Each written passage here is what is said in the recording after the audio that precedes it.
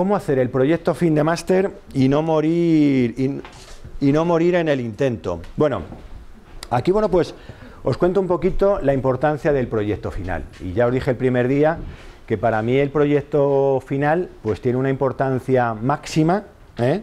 porque hace 21 años yo agradezco mucho a la persona que me hizo hacer un proyecto final porque fue eh, eh, la prueba de que a día de hoy esté aquí. Este fue mi proyecto final, que hice bueno, pues con, uno de los actuales socios de esta, de esta empresa. Posteriormente, en estos 21 años, han sido muchas las empresas, hoy por ejemplo tenía que confirmar a una, que me han llamado, llaman a la dirección académica, confirmando que de veracidad que un alumno ha cursado con nosotros MBA, recursos humanos, marketing, el programa que sea, y siempre me piden que le dé información de los resultados académicos, siempre me piden que les demos información de cuál ha sido y cómo ha sido su paso por el programa de prácticas, si ha hecho prácticas empresariales, y rara es la empresa que no te pide cómo le fue en el proyecto final. Fijaros si es importante el proyecto final. ¿eh? Había un antiguo, un, antiguo eh, anuncio que decía eh, el algodón no engaña. hablaba de productos de limpieza y decían sí, pero para ver cuál es el bueno y cuál es el malo, lo mejor es coger un algodón, pasarlo por el baldosín y si cuando lo pasas quedan restos, es que ahí había suciedad. Y si el algodón sale limpio, es que ese producto de limpieza es bueno. Bueno, pues para nosotros el algodón que no engaña es el proyecto fin de máster. Hace un año, Paolo Lombardo, que conocéis, bueno, pues una buena parte de vosotros y servidor, nos llamaron a la universidad, ni más ni menos que Complutense, para que les habláramos de lo que era, bueno, pues nuestro, nuestro proyecto ¿eh? pionero en aquel entonces, que era nuestra plataforma, ¿vale? En la Universidad Complutense les encantó, pero nos hicieron una pregunta que desgraciadamente no pudimos salvar nos decían, ¿y ustedes cuando hacen exámenes online, como vais a hacer vosotros, cómo validan, cómo confían que la persona que responde es quien dice ser? Y decíamos, pues a día de hoy no hay técnicas, pero no manejamos ni huellas digitales, ni analizamos el iris del ojo, ¿eh? con lo cual simplemente nos tenemos que creer que quien ha enviado el examen a las 12 de la noche, o ha respondido el caso, o ha participado en la discursión, es quien dice ser. Y no adquirieron la plataforma porque no tenían garantías de que quien estaba presentando ese trabajo era el autor del mismo. De ahí la importancia del proyecto final. Yo en las distintas reuniones de evaluación que vamos teniendo con los profesores me van hablando de vosotros. Pues ella, pues muy bien, trabaja, es una chica educada, participa en clase, eh, presenta todos los casos, eh, llega de manera puntual, asiste de manera puntual. Yo me lo creo, yo me lo voy creyendo y así vamos validando cada uno de los módulos. Pero para mí, mi prueba del algodón es el proyecto final. Ahí ya digo, yo personalmente cuando he tenido que incorporar a alguien en mi equipo, cuando alguien me ha pedido alguna recomendación para incorporarle a alguna organización, ni he mirado exámenes ni he mirado prácticas. Yo he mirado cómo le fue, cómo lo hizo en el proyecto final. ¿eh? Hay alumnos, muy buenos alumnos, con muy buenos resultados, que cuando llegan al proyecto final se hunden esos 20 minutos, 20 minutos, 30 minutos en las portuguesas, les cuecen los pies, les hierve la cabeza. Y gente que a lo mejor ha tenido un paso mucho más discreto por el máster, pero que cuando llega el proyecto final dices, ole, ¿eh? ahí hay un profesional.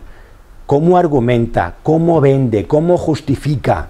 ¿Eh? Es una presentación que va a tener dos roles, académico y profesional. Es decir, afrontarlo el día de mañana como que vais a vender vuestra empresa, vais a vender vuestro proyecto. Si esto es así, desde el principio, lucharlo, vivirlo como vuestro proyecto de vida, ¿vale? Proyecto de vida profesional y personal. Eh, mi escuela no es la única que ha parido eh, el proyecto final en, en estos 21 años. A partir de ahí, bueno, pues incluso hemos tenido eh, antiguos alumnos que dijeron, joder, si a estos de UDE les va muy bien, ¿Por qué nosotros no montar o yo no montar mi propia escuela pequeñita de formación? Y hay gente que ha montado centros de formación, consultoras. Damos una patada y salen muchas consultoras fundadas por antiguos alumnos de UDE o de Formaselet, agencias de marketing y publicidad, asesorías de empresa, restaurantes. La cantidad de restaurantes eh, en estos últimos años donde el tema de moda ha sido la comida. ¿eh? sobre todo comida saludable. ¿eh? Ya digo, miles de proyectos nos hemos visto que se han hecho guarderías. Unas chiquitas montaron una escuela de estimulación temprana, centros de ocio, hay un centro de bateo en Caracas que se mm, gestionó aquí. Hay un restaurante en Chinchón. El otro día me lo contaban y me llevé una grata sorpresa, ¿eh? porque fue de nuestros primeros proyectos. Es un restaurante que funciona fenomenal ¿eh? y es un proyecto que su autora ¿eh? lo hizo aquí. Lo hizo aquí. Y a partir de ahí, bueno, pues proyectos más inverosímiles, podrías decir, forraje para animales. Forraje para animales, pero ya digo, hechos en una estancia de 10 metros cuadrados, contenedores para viviendas. Los contenedores, bueno, por donde vemos que se lleva a la China chupachus, que alguien los pueda convertir eh, en viviendas baratas, bueno, pues todo eso han sido proyectos que se han hecho aquí. En tiempos de crisis se valora mucho eh, el emprendimiento, la creatividad, la imaginación. Bueno, pues ahora es el momento Ahora es el momento. Tengo que confesar una cosa. Vosotros este año vais a ser, muchos de vosotros, alumnos de un proyecto eh, final, porque vais a optar a la oficialidad, y yo lo voy a hacer con vosotros. Yo lo voy a hacer también con vosotros, la oficialidad para la Universidad Rey Juan Carlos, con lo cual, 21 años después, me va a tocar hacer un nuevo proyecto final. Eh, a lo mejor me enrolo con alguno. ¿eh? Me apetece la idea, me apetece la idea porque ya digo, es muy bonito, ¿eh? es la mejor manera de volcar, de aplicar todo lo que hemos estado viendo en cada uno de los módulos, pero en mi propio proyecto, ¿vale? Eh, ay, ay, ay, que me voy. ¿Cómo plantear el proyecto fin de máster? Ojo, estamos en la fase más importante, con diferencia. La, fase determinante no va a ser cuando vayamos a la universidad, cuando hagamos los ensayos en EUDE, cuando esté en, el sindicato preguntando no sé qué datos, en la Biblioteca Nacional. El momento más importante es este en el que nos encontramos, porque tenemos que saber... ¿eh? dar respuesta a cada uno de esos interrogantes. Lo primero, ¿sobre qué voy a hacer el trabajo? Sobre qué voy a hacer el trabajo. ¿eh? Hombre, este año voy a llevar una ventaja sobre vosotros, y es que con mis 45 añitos, ¿eh? por dice el refrán que sabe más el diablo por viejo que por diablo. Y para hacer un buen proyecto hay que tener oreja, saber escuchar. Día tras día, por vuestro lado, van a pasar miles, miles de ideas de proyectos miles de ideas de proyectos. Hay que ser listo para saber escucharla, guardarla en el bolsillo y analizarla tranquilamente. La pregunta del millón, ¿con quién lo voy a realizar? Sobre todo, en este caso, la pregunta va dirigida a los que vais a hacer título propio, porque ya hemos hablado, os voy a pasar la presentación, o sea, que no hace falta que la fotografíe, que os la voy a pasar, ¿vale? Además la estamos grabando, o sea que si alguien no ha venido y la quiere escuchar, la podrá revisar, y en vuestro caso, si dentro de seis meses queréis volver a ver lo que hemos contado hoy, pues gracias al amigo John, que es del mejor equipo del mundo, ¿eh? pues lo podréis, lo podréis revisar, ¿vale? ¿Con quién me voy a asociar? Ojo, puede que sea vuestro compañero de por vida. Yo con quien me asocié 21 años. ¿eh? En estos 21 años pues hemos sido como las parejas.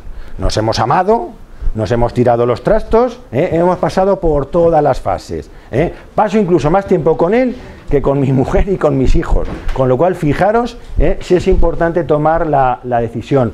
¿Con cuántos elementos de partida cuento para comenzar y desarrollar el proyecto? Pues quiero revisar la fórmula de la Coca-Cola. Oiga, la Coca-Cola como industria, la Coca-Cola como organización, le va a abrir las puertas de su casa y le va a facilitar todos esos datos que van a ser necesarios para la realización de su trabajo?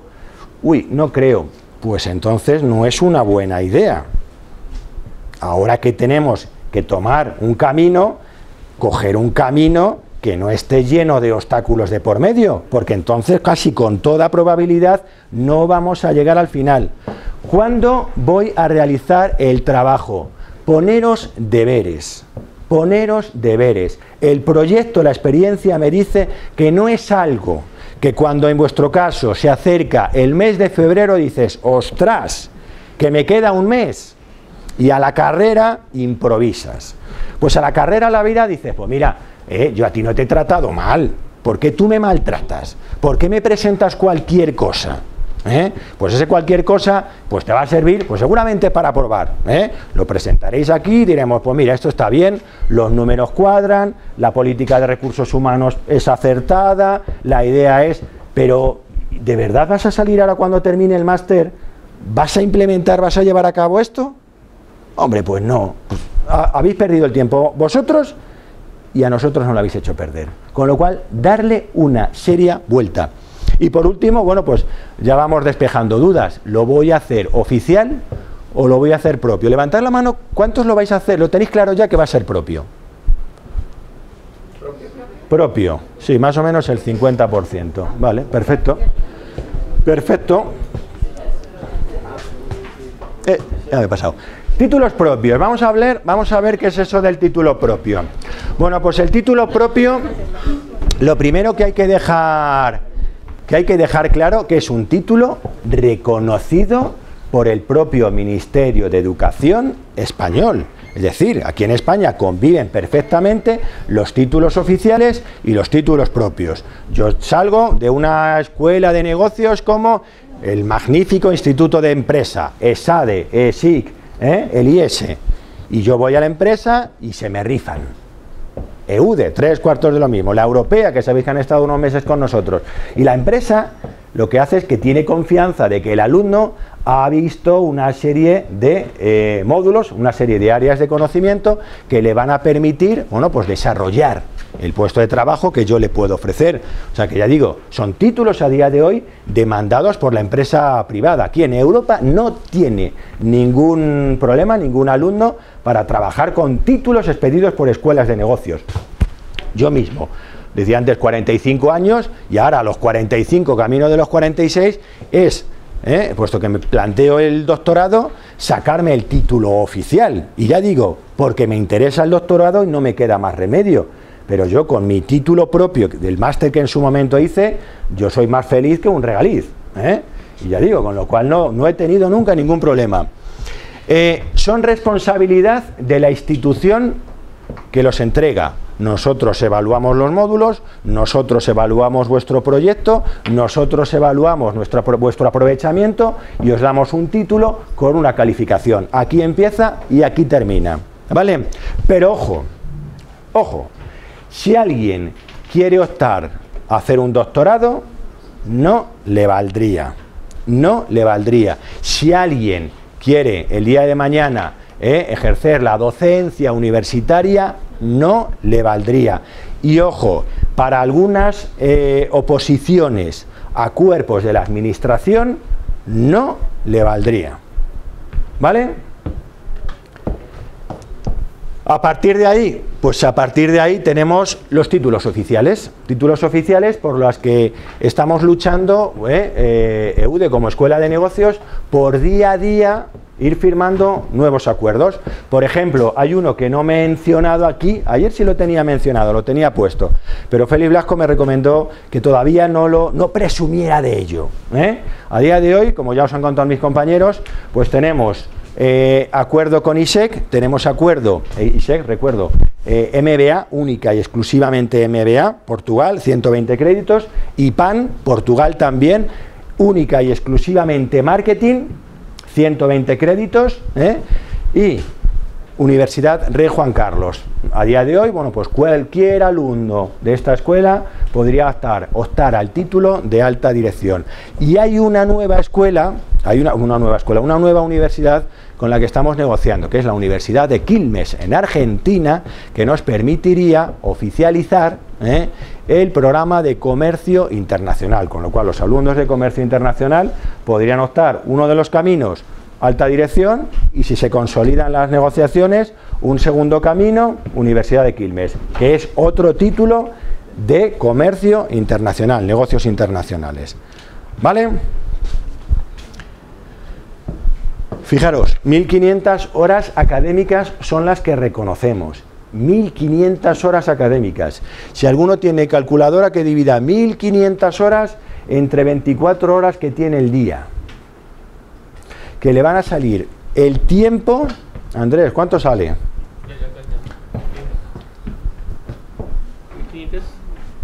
400... 62 días.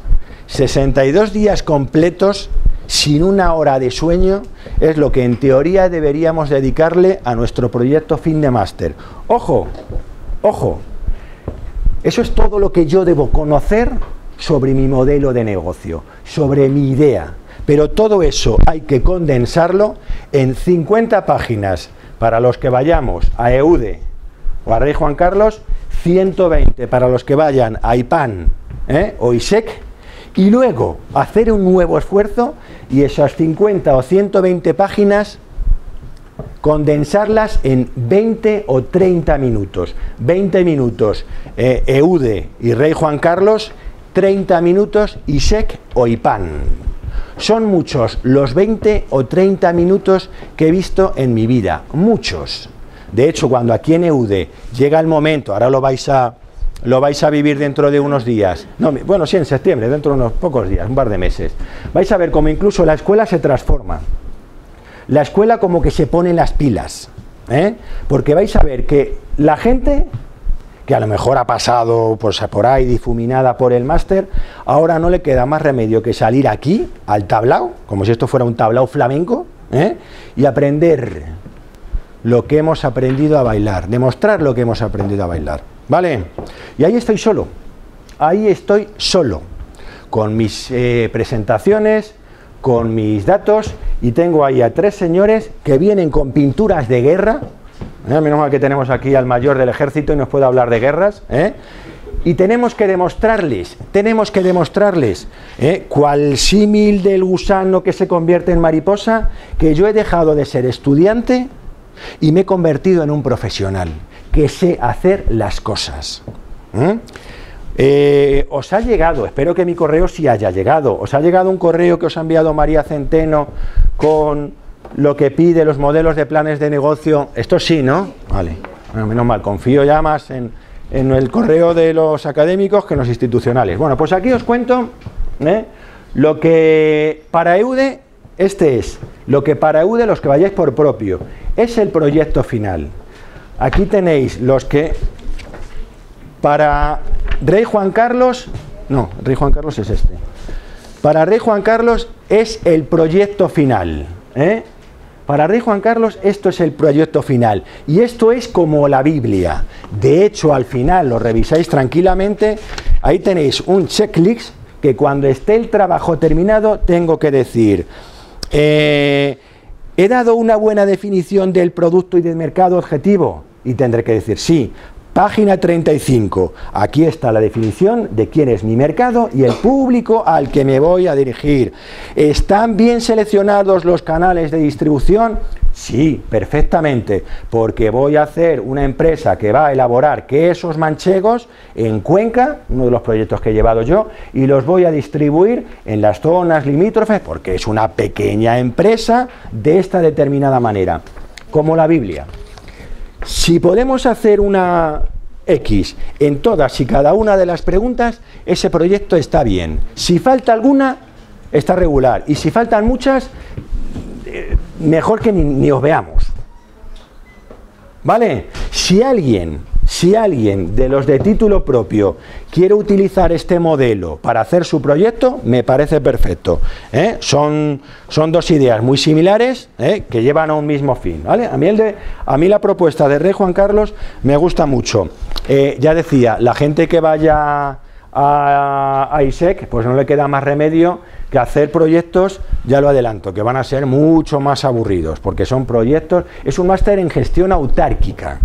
Gestión autárquica es gestión administrativa local. ¿eh? O sea que son proyectos pensados ¿eh? en una pequeña ciudad, pues voy a implementar un sistema que va a gestionar, eh, yo qué sé. Pero ya digo, en este caso, bueno, pues tiene la ventaja de que son 120 créditos. Son 120 créditos. ¿Vale? y no podéis saliros de aquí.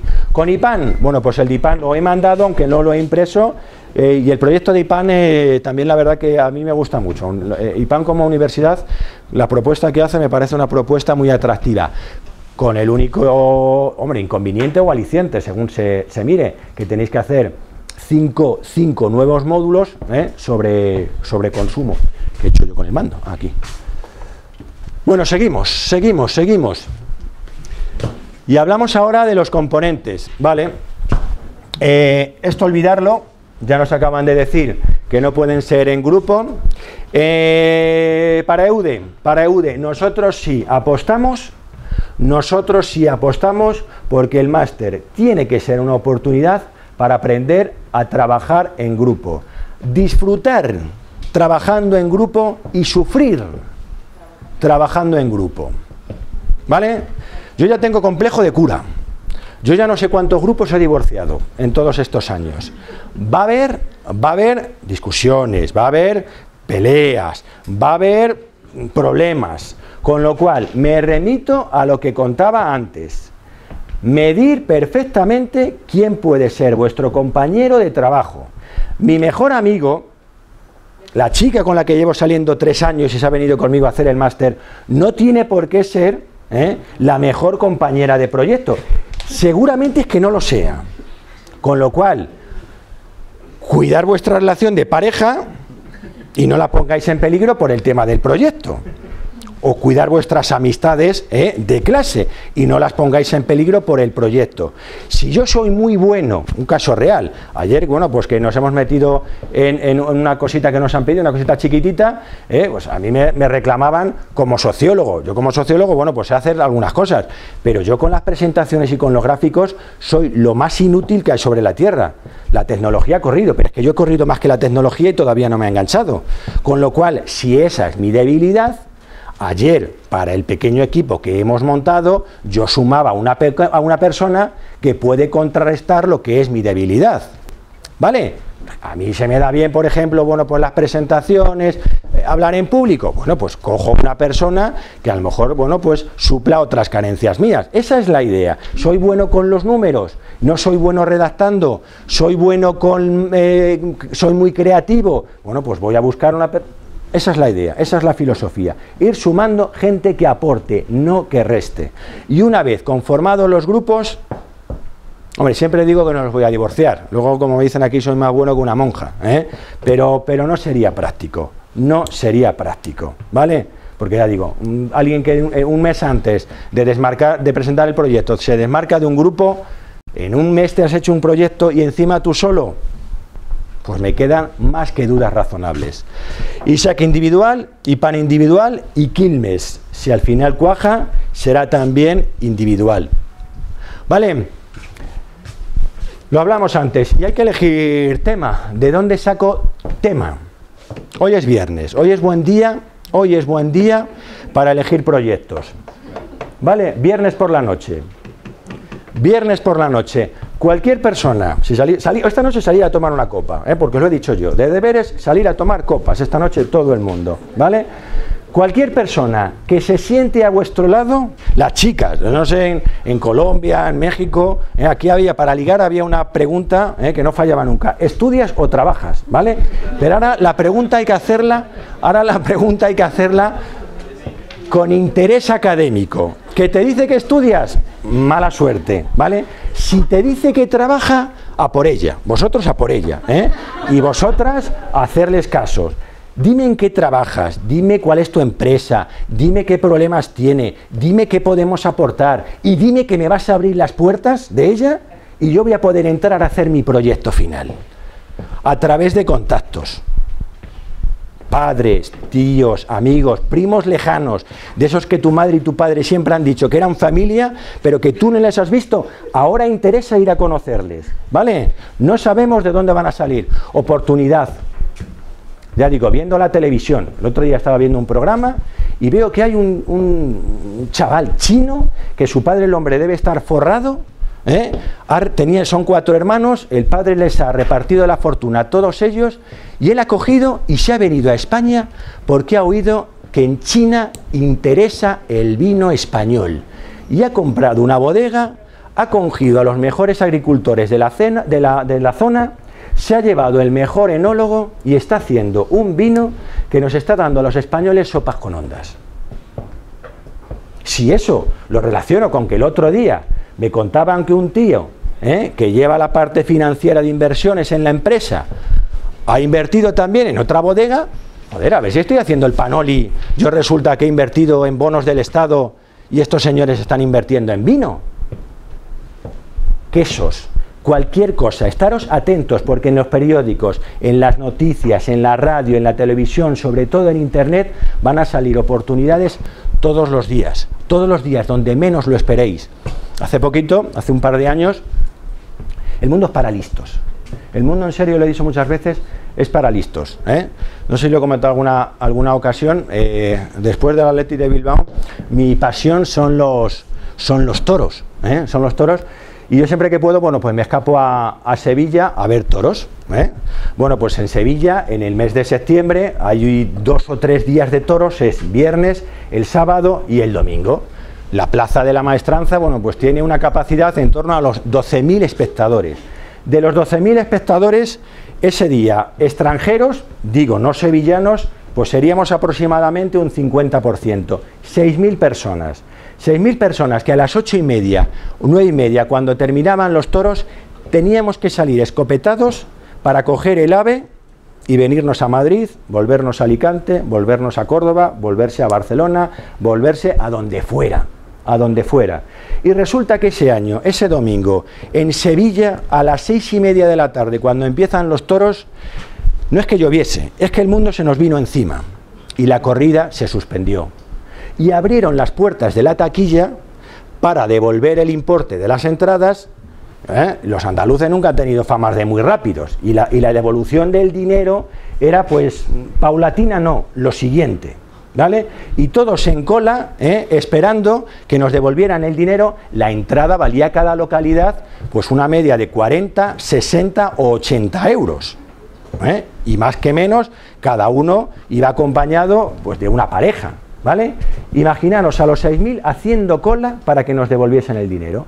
Pues resulta que llegó un gitanito, llegaron dos gitanitos con un cajón de fruta uno de ellos se subió al cajón de fruta y dijo, señores, pegó un par de palmas, compro las entradas. Las de 40 a 30, las de 60 a 50 y las de 80 a 70. El gitanito que se quedó en el suelo con un fajo de billetes que yo en la vida lo había visto. ¿eh?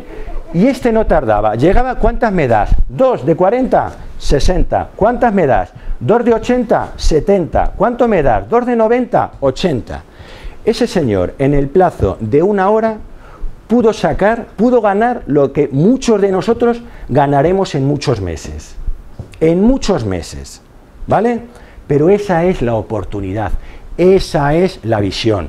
Él era de Sevilla. Al día siguiente, cuando se abrieron de nuevo las puertas de las taquillas, él llegaría con su zajo, ¿eh? Eh, su zote de entradas y le diría al taquillero, ya me estaba usted dando, pues no sé si un millón de euros, que es lo que he conseguido recolectar ayer.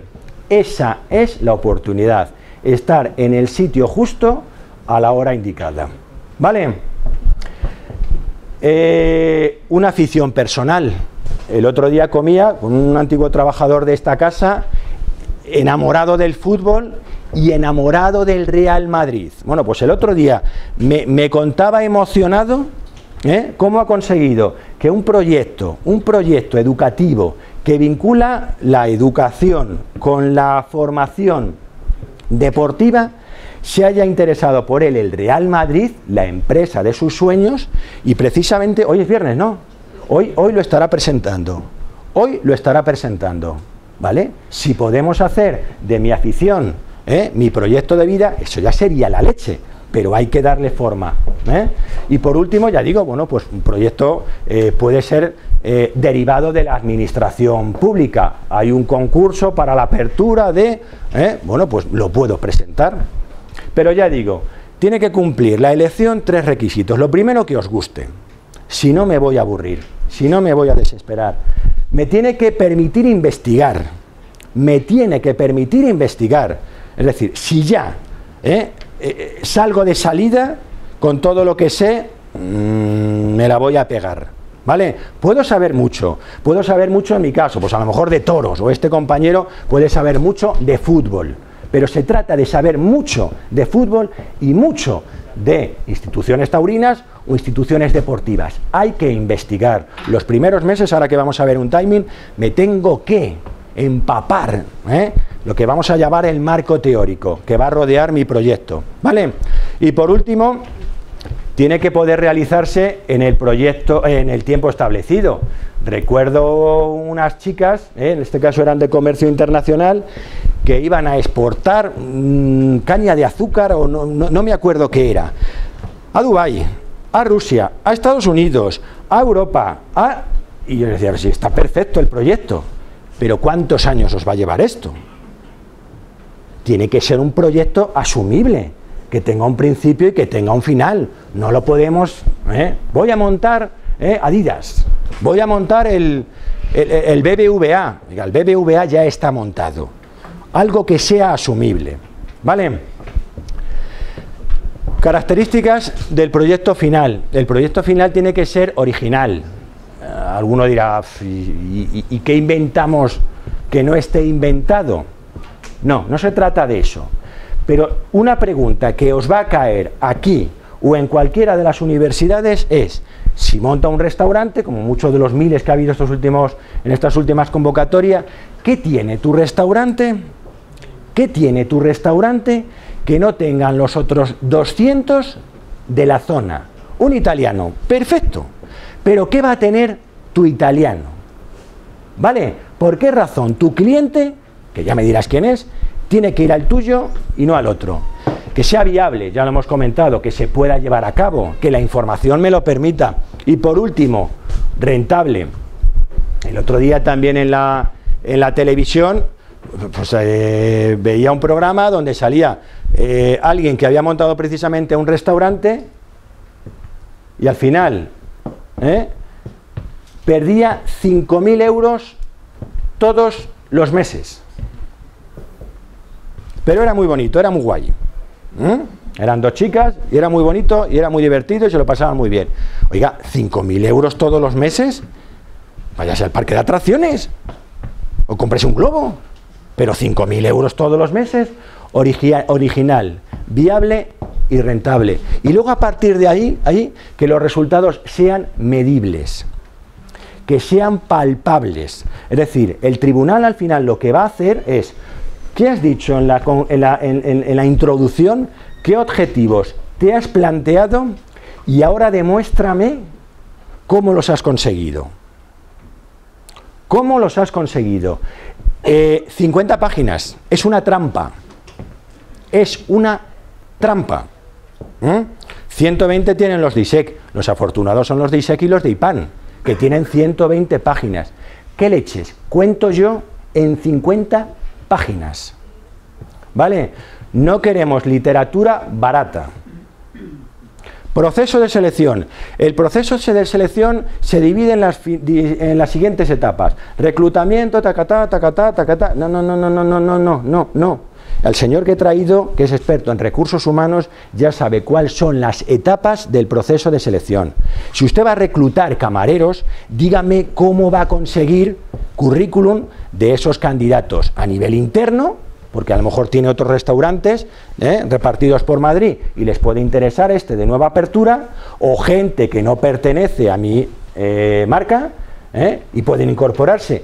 ¿Cómo narices va a conseguir candidatos? Por internet, por contactos, ¿cómo lo vais a hacer? ¿Vale? O sea que esa es la, la, idea.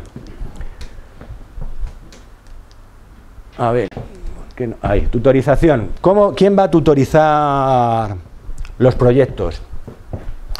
Eh, en los toros se dice que el mejor apoderado de un torero es el mismo.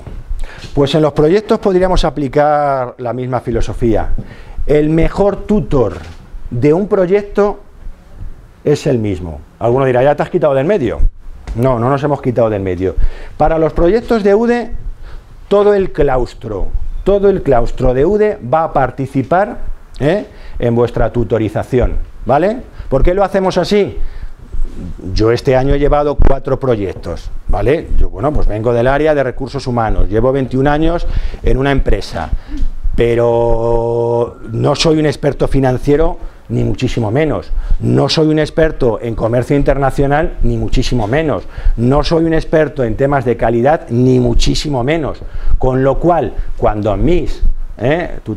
venían a hacerme preguntas en ese sentido, yo les remitía a las distintas personas que les podían asesorar. Con lo cual, lo que vamos a hacer es, eh, Juan, digamos que va a coordinar los de MBA, Laura va a coordinar los de marketing, Paolo los de recursos humanos y una persona que vamos a incorporar a la vuelta de vacaciones los de comercio internacional, pero cualquier profesor, cualquier profesor que ha pasado por vuestras aulas o va a pasar por vuestras aulas, estaría en disposición de ayudaros. Lo único que os pido eh, es que eh, tengáis en cuenta estas, estas normas. El tutor no es coautor del proyecto. Recuerdo alguna vez que me he sentado con, con mis chicos y te miran como diciendo, ¿qué hacemos? Y tú les miras como diciendo, no, ¿qué hacemos yo? No. ¿Qué hacéis vosotros? Que el proyecto es vuestro. ¿Qué hacéis vosotros? A ver, decirme qué camino vais a emprender y yo os iré contando, en función de los obstáculos que vayáis encontrando, cómo podéis salvarlos. Pero el proyecto es vuestro. Y si me meto por un camino equivocado, pues la labor del tutor es dejaros, porque ha sido vuestra elección. Os puedo avisar de los riesgos, pero ojo, el proyecto es única y exclusivamente vuestro. Siempre digo que en la escuela de negocios lo debemos tener todo atado menos el proyecto final. Por eso decía antes que tomé la decisión de que si un mes antes alguien decidía divorciarse, yo permitía el divorcio, porque era una responsabilidad del grupo. Yo sabía lo que iba a ocurrir, pero yo, si se quiere despeñar el grupo, yo le dejo que se despeñe. Yo le dejo que se despeñe. ¿eh? Con lo cual, a partir de ahí ya digo, eh, valorar quién nos puede ayudar, interesarle, interesarle con el proyecto, ¿vale? Te llega alguien un día y te dice, oye, que vengo a hablarte del proyecto que llevo donde vamos a elaborar quesos manchegos ¿eh? en la cuenca profunda. Y dices, ostras, que estaba yo aquí preparando los calendarios de no sé qué, no sé qué, no sé cuánta, y ahora me tengo que ir con la mente a Cuenca y pensar en quesos, pensar en leches. ¿eh? Pues la verdad que es un esfuerzo importante y cuando llevas varios proyectos a la vez, el esfuerzo ya es considerable. Tenéis que ser lo suficientemente hábiles para enamorar, para engatusar a los tutores, para que lo vivan como algo propio.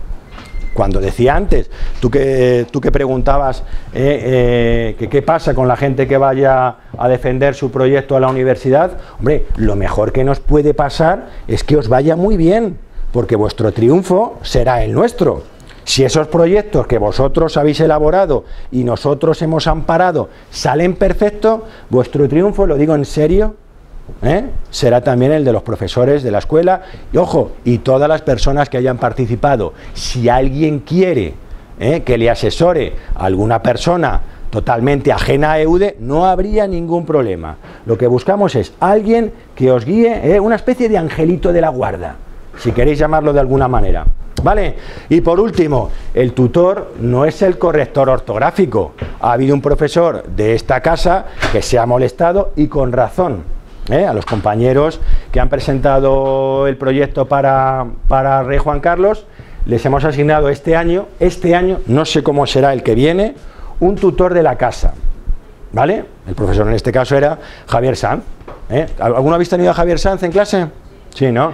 Sabéis que Javier Sanz es un tío serio, eh, y ya con muchos años encima eh, de sus espaldas. Bueno, pues la persona que yo le asigno a sus reclamos, oye mira que estoy aquí, oye mira que puedo ayudarte, oye mira que puedo aconsejarte, resulta que cuando llega el finales de mayo y hay que entregar el proyecto, tiene el morro de decirle, mira, te mando el proyecto final, corrígemelo. Ya tiene Word, ¿eh?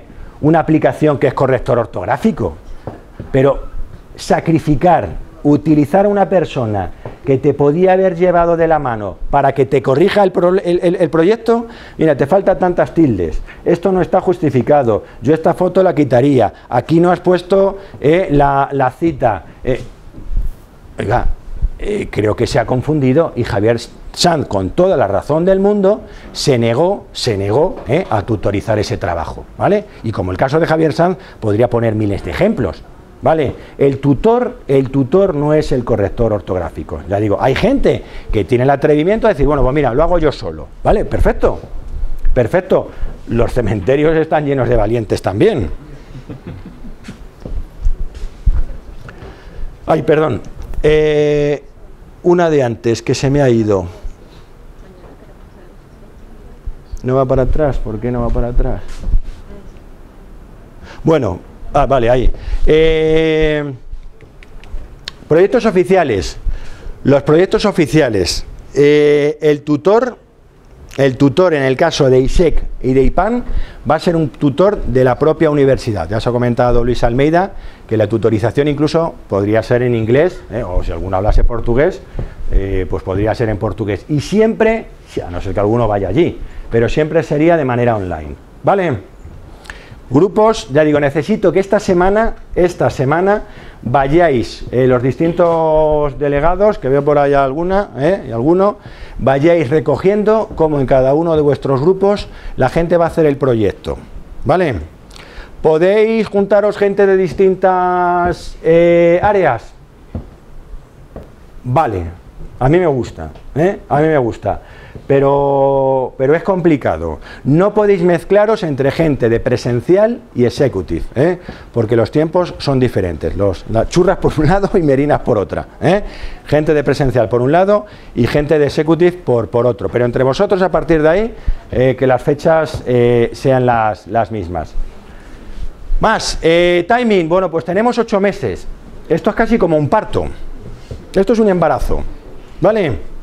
Hay que empezar a trabajarlo desde el primer momento. Yo este primer, estos primeros dos meses, además en vuestro caso, son fantásticos, son fantásticos porque vamos a tener el parón de las clases. Yo aprovecharía para sacar toda la información ¿eh? necesaria ¿eh? para embadurnar mi trabajo, para imbuirme en el trabajo. Restaurantes, tengo que ser el tío o la tía que más sepa de restauración de comida en Madrid. ¿Eh? Y a partir de ahí, cuando ya tenga toda esa información, empiezo con mi proyecto. Y durante cinco o seis meses vais a tener que ir construyendo ¿eh? poquito a poco cada una de las parcelas.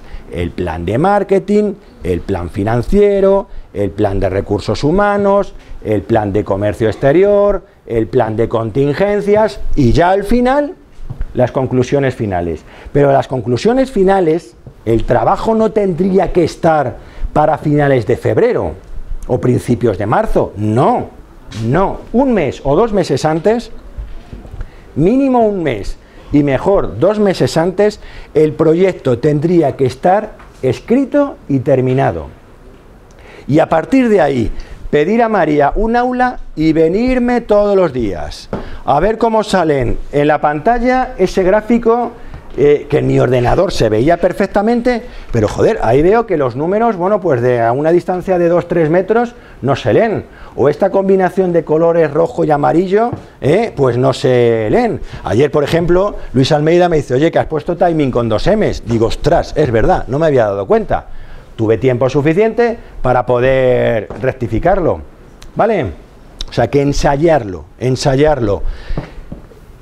Más cosas, la presentación y defensa del proyecto Master. Y digo presentación y digo defensa. Porque la evaluación del proyecto no termina hasta que el jurado me indique que puedo abandonar la sala. ¿vale?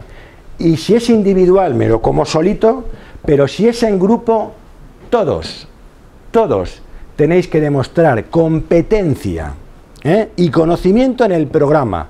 Con lo cual, puedo que haga una pregunta y cualquiera me responda, o puedo que haga una pregunta a ella y quiero que sea ella y solamente ella quien me responda. Y no me puede decir, Oscar, es que yo me tocó la parte de recursos humanos, de finanzas como que a mí no me preguntes.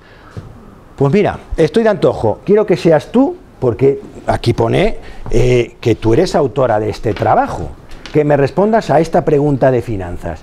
¿Por qué das este dato? ¿Por qué dices que a tres años eh, va a ocurrir esto? ¿Vale? Competencia y conocimiento eh, en todo el trabajo. ¿Vale? El proyecto se presenta en cada, en cada institución.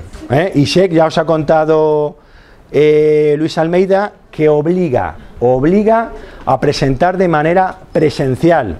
O sea que ya digo, si alguno está en España, tendrá que ir a Lisboa y si alguno ya está al otro lado del charco, tendrá que volar para llegar a Lisboa, ¿vale? Pero hay que presentar allí. IPAN, EUDE, el propio EUDE o la Universidad Rey Juan Carlos, contemplamos la opción de presencial o contemplamos la opción de online. La presentación es pública y formal. Pública y formal. ¿Vale? ¿Qué significa eso? Pues que el día de la presentación no podría ir con, gorra. ¿Mm? Hablamos de atuendo formal, no hace falta que expliquemos qué entendemos por atuendo formal. ¿Vale? Y, y atuendo formal es online.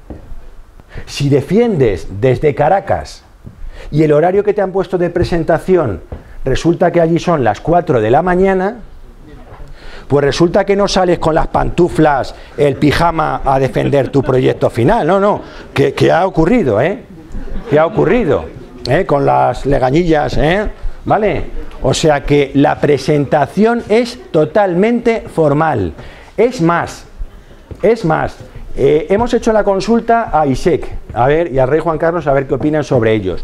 En EUDE yo valoro mucho, hombre, no los proyectos horteras, pero sí los proyectos en los que cuando abres la puerta, ya el ambiente creado te dice algo. Aquí se va a hablar de licores, aquí se va a hablar de quesos, aquí se va a hablar de nueva tecnología, aquí se va a hablar de medios de comunicación, aquí se va a hablar de algo que transmite tranquilidad, porque estoy oyendo una musiquita, estoy oliendo algo ¿eh? que me transmite paz. ¿Vale? Tenemos 20 minutos. Cuanto antes enganchemos al tribunal, muchísimo mejor. La presentación es pública. Yo sé que luego os amenazáis entre vosotros y hacéis pactos secretos, eso sí, yo nunca llego a enterarme, ¿eh? para que no vaya. ¿eh? Compañeros vuestros, ¿eh? a las vuestras, y así nos ponemos nerviosos. Pero como yo soy muy malo, lo que hago es que a gente de otras convocatorias les animaré a que vayan a ver las vuestras. Igual que os animo a que en el mes de septiembre vengáis a ver las de vuestros compañeros del mes de octubre vais a aprender muchísimo. Las preguntas, las exposiciones, manejar. Esto lo he dicho antes, esto es como un escenario. Esto es como un escenario. Daremos algún curso ¿eh? de presentaciones eficaces, lenguaje verbal, lenguaje no verbal e incluso lenguaje audiovisual. ¿Vale? Pero ya digo, todo esto no es fruto de la improvisación. ¿eh? ¿Y qué hago el próximo día? ¿Me siento? ¿No me siento? ¿A quién miro cuando hable? Gente que eh, eh, te está contando el proyecto y está mirando a la pantalla y dices tú, joder, si lo ha hecho ese, si lo tendrá que saber. ¿Por qué no me mira a mí? Que soy el interesado en que me cuente el proyecto. Pues no, son vicios de forma que como no me he puesto delante de nadie, nadie me ha criticado, ser muy críticos si antes hablaba de que el tribunal va a venir con pinturas de guerra, los más malos tendréis que ser vosotros mismos, vuestros compañeros. Oye, mira, eh, la presentación es muy cursi. ¿eh? La presentación tiene demasiadas transparencias. A la presentación le sobran datos. A la presentación le faltan datos. A la presentación le faltan imágenes. A la presentación que estás haciendo le sobra velocidad. Tú hablas muy deprisa y el que viene detrás habla muy despacio. Tiene que haber coherencia. Tiene que haber coherencia, ¿vale? Yo cuando llego a un proyecto, yo hago lo siguiente. Pongo mi cartera encima de la mesa. Y cuando termina el proyecto, si lo que me han contado me invita a invertir, para mí ese es un buen proyecto fin de máster. Si dices, no, no me atrae, no me dice nada, algo me dice que esto no va a salir adelante, ese no es un buen proyecto de máster. Tiempo de exposición 20-30 minutos. Después de 1500 horas de trabajo, decidir qué cuento, esa es una labor de muchas horas. Todos tenéis el problema, ¿ya? Cuando yo hago una seña, tiempo, ¿ya? Sí. ¿Qué te salía en los ensayos? Es que no he ensayado. ¿A que te vienes a jugarte tu proyecto final que te ha costado tantos miles de euros, que te has venido desde Bogotá a hacerlo y no has tenido la precaución de ensayar el tiempo cuando tenías 20 minutos, eh, hay que ser muy torpe. Hay que ser muy torpe. Pues alguno lo hará. Ensayarlo y ver qué entra y qué dejamos fuera. No se trata de contar todo. A lo mejor hay algún aspecto que yo considero menos relevante, pero que luego en la defensa me hacen una pregunta y puedo sacar toda esa información que tenía en la recámara ¿eh? para justificarlo. Oiga, es que usted eso que me está preguntando, en la página 77 y 78 o en los anexos, publicábamos una encuesta donde la encuesta salía que. Ah, vale, perfecto. Eso es conocer un trabajo. Eh, la defensa, insisto, cuenta en la eh, nota final. He visto trabajos mm, con una presentación discreta pero que luego los miembros del jurado, cuando lo han defendido, te das cuenta que de verdad lo conocen, que de verdad lo sienten. ¿eh? O gente que llevaba una presentación bien, buena, muy ensayada, perfecto, pero que les faltaba empaparse, que no se habían como metido en la piscina. Y en el momento que metías un poquito los deditos, eso se deshacía como los terrones de azúcar. ¿Vale? Eh, prepara el escenario, bueno, pues lo hemos hablado, rol académico eh, y rol empresarial, y ojo, el tribunal tiene plena competencia, tiene plena competencia para evaluar un proyecto. Espero que nadie cometa la torpeza de no asumir una mala calificación. Espero que nadie tenga la, torpeza, porque sería una torpeza auténtica. ¿Vale? Que a partir de ahí eh, eh, el tribunal puede haberse equivocado. Bueno, pues empleamos los cauces administrativos necesarios para reclamar nuestra nota.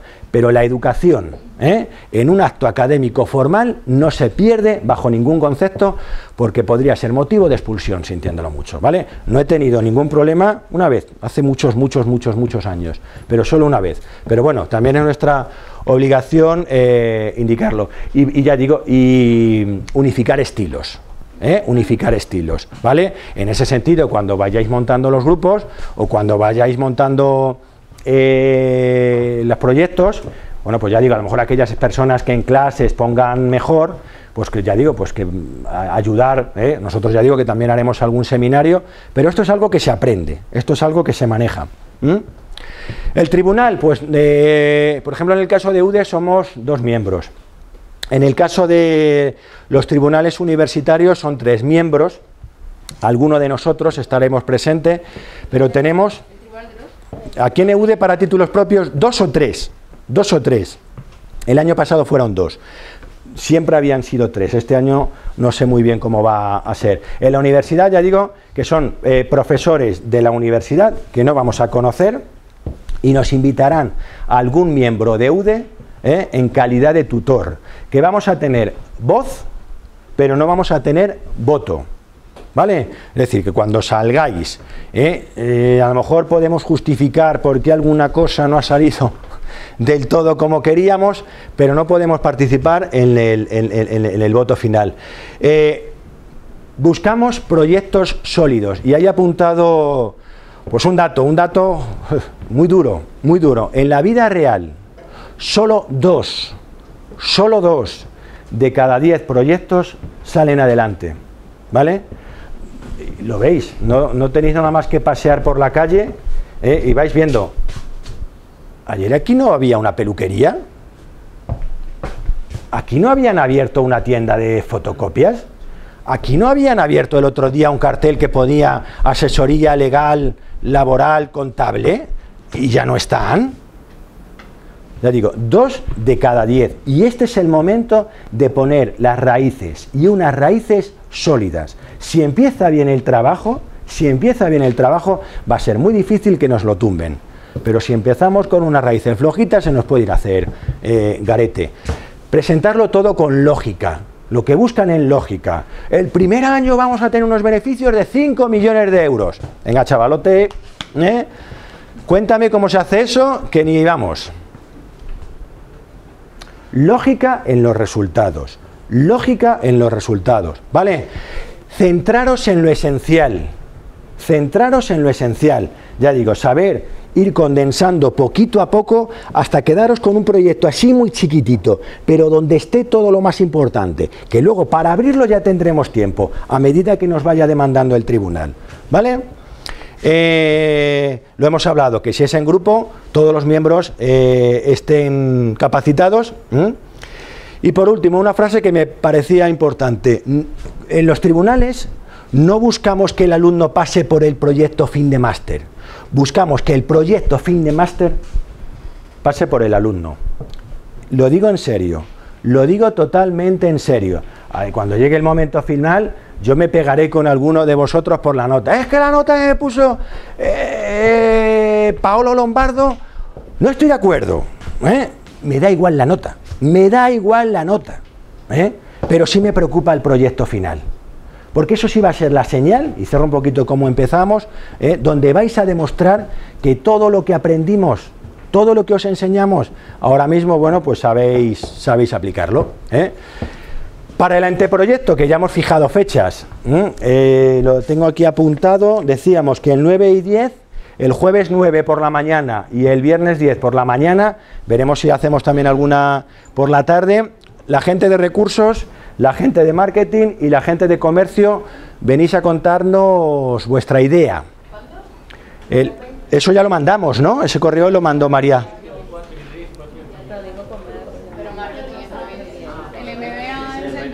Sí, 23 y 24. 23 y 24 MBA y 9 y 10 Marketing, Recursos Humanos y Comercio, ¿vale? Eh, el orden le pongo yo. ¿Vale? El orden le pongo yo. Si luego con algún grupo tengo que negociar, negocio. ¿Vale? Pero le pongo yo. Porque si no, esto es un caos. Lo que necesito es, y si no es, falta algún delegado, ¿algún delegado falta? ¿Sí? Y en, te puedes hacer tu cargo, ¿vale? ¿Y en los executives tenéis delegados?